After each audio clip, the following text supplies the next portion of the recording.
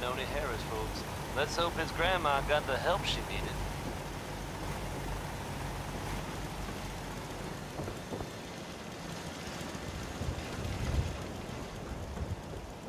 Folks, I'd, I'd like to take a moment for something a little more personal. As I'm sure you know all too well, I haven't always been the best at this job. Hey, let's face it.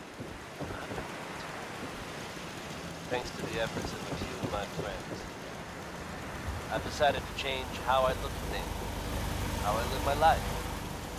I'd like to take this opportunity to thank the Vault Dweller for lending me a hand. I really do appreciate it. All right, folks. That's enough sentiment from me for today. Let's get it on back to the music, shall we?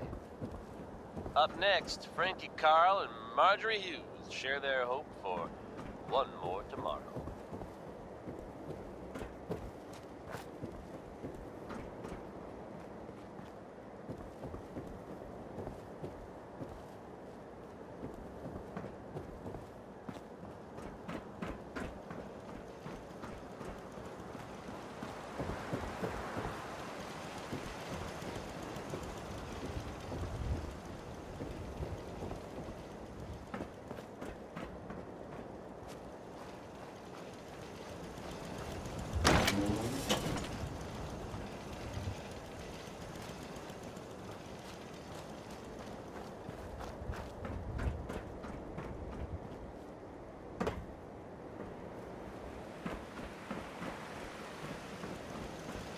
Most folks are just looking for a hand.